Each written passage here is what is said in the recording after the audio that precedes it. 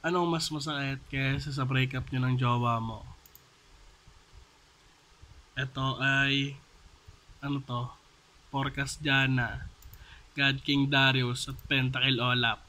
Tignan na, ito ah, ito yung pinamasakit sa breakup ng jowa mo.